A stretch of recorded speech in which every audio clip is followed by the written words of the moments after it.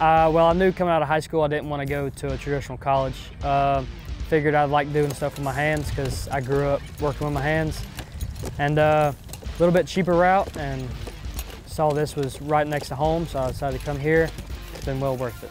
I was just kind of tired of working inside and I was always working outside woodworking and I figured I have family who does this for a living and they said they really enjoy it and I thought I'd give it a shot and honestly it's one of the best decisions I've made in my life to come and start this program here. It's very exhilarating, very exciting.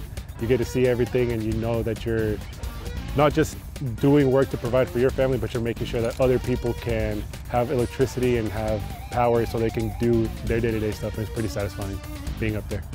In the grand scheme of things, but we learned how to uh, safely climb using our uh, climbing gear, climb up and down poles, uh, work from the poles using our, our full set of tools. Uh, you learn how to run line. You learn how to set up a transformer. We do what's called a qualifying climb where you go up, transition over the neutral line, go around to your right, go around to your left, come back down, learn how to tie ropes, uh, lots of knots. You learn how to identify wires.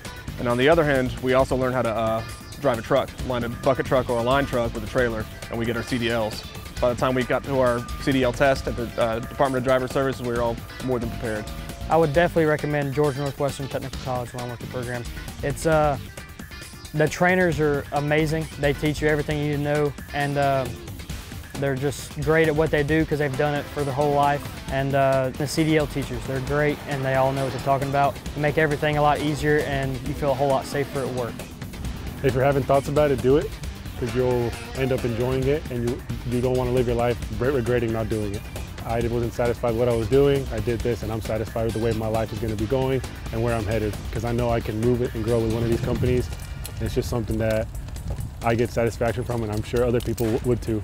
I would say if you kind of have, uh, you don't really have a direction you're going in life or you, you want to get into a field where you, you have room to grow, uh, I would say getting in the program would be the right move. We need to power our homes, power our schools, power our businesses. So it all needs to be there.